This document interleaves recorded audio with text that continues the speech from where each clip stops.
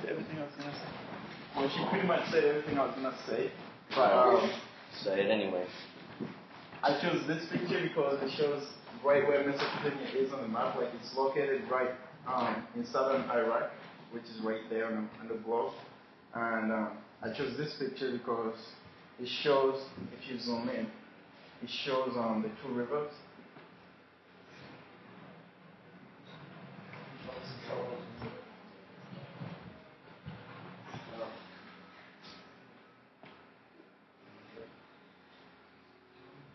Um, the Tigris and the Euphrates. I think that's how you say. The, those, yeah, it shows those two rivers. And because of these two rivers, um, that's why the area was good for farming. And Mesopotamia is in the desert, so they don't get that much rainfall. Or like um, the temperature goes up to like 110 degrees. But because of the two rivers, they, it's good. It makes the, go- the soil good, so um, they can farm the area. That's why. Next picture.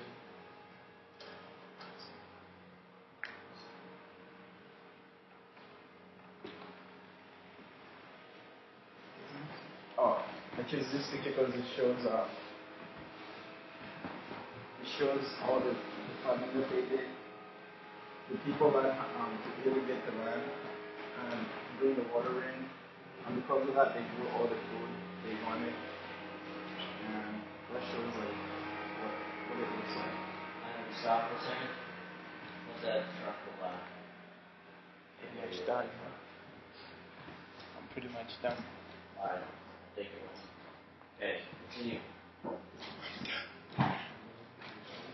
Yeah, I'm done.